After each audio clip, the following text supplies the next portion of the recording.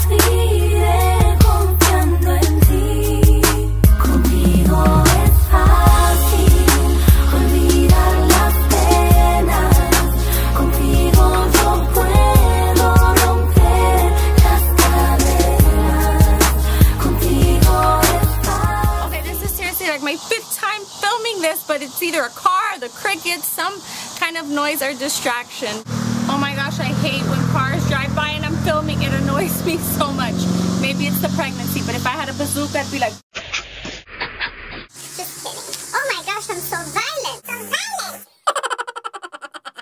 In baby news, just the baby is five pounds already. I have a five pound baby inside of me. It freaks me out to think that like technically, if I had this baby right now, like it would be okay, living fine. Five pounds isn't uncommon for a baby to be born that small.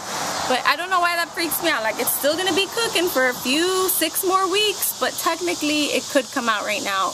Whatever, maybe that makes no sense, but it's just this thought process I have.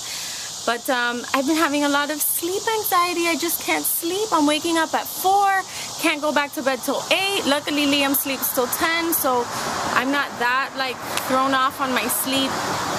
But um, I've been so busy with work, business, just business is doing awesome. And thank you guys so much for supporting my brand. Like honestly, I'm not really doing any extra marketing other than YouTube and Facebook. So I just want to thank you so much for supporting Cupcakes and for all you guys that have made purchases in the last couple months or just ever. Thank you so much. I'm going to bring you guys along with me to do Operation Get Ready for the Baby. I'm gonna go into the storage closet, start washing all the newborn clothes, get the swing out, the changing table. So I'll bring you guys along with me for that too.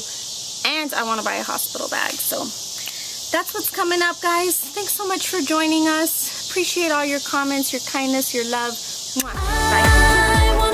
This video was brought to you by CupcakeCovertops.com. Visit our website today for more information on the world's most comfortable half cami because you know what they say, once you go half, you'll never go back.